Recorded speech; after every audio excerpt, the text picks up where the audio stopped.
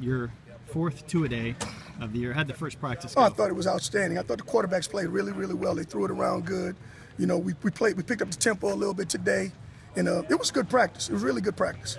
You know, from an outsider's perspective, someone just here watching practice every day, it looks like you and the other coaches have really picked up the intensity, uh, really starting Monday, and that's been a focus all week for you guys. Yeah, you know, we felt that that last week we had to teach and we had to do a lot of learning, and you know, the learning curve. All of a sudden, now everything's in for the most part, and you know, now it's time to get get to football, just the intensity, and, and get going.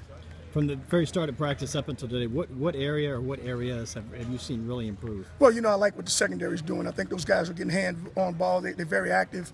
You see them picking balls off. You know, uh, the running backs are outstanding. They've, they've really picked it up. You know, and you know the line play is, is getting better also. Obviously, the secondary was a big question mark coming into the year with so many uh, players who were drafted or graduated. Uh, how has that come overall?